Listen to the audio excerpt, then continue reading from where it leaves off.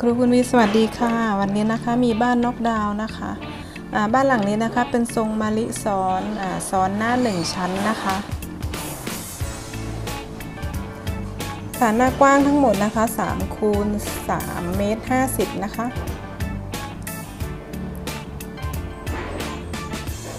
ค่ะบ้านนอกดาวหลังนี้นะคะ ยกสูง 1 เมตรนะคะ โครงสร้างเป็นไม้เต็งนะคะ ตัวเรือนบ้านก็จะเป็นไม้เนื้อแข็งนะคะ ลักษณะการตีฝาบ้านนะคะ ก็จะตีแบบฝาเฟี้ยมนะคะ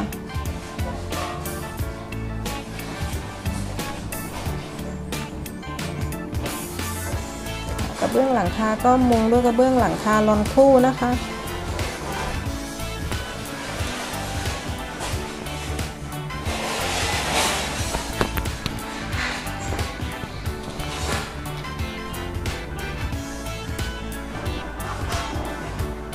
ค่ะบ้านหลังนี้นะคะ หน้ากว้างอยู่ที่ 3 เมตรคูณ3เมตร50 นะคะ ค่ะระเบียงด้านหน้านะคะ จะกว้างอยู่ที่ 3 เมตรคูณเมตร50 นะคะ ค่ะตรงนี้ระเบียงหน้าบ้านนะคะมี 2 พนักพิงนะคะค่ะเพื่อนๆไว้เป็นมุมนั่งเล่นหรือมุมพักผ่อนต้อนรับแขกได้นะคะอ่าตรง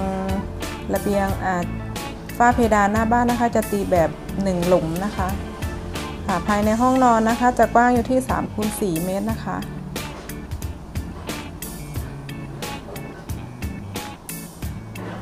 การตีฝ้าภายในห้องนอนนะคะ ก็จะเป็นหลุมแปดเหลี่ยมนะคะ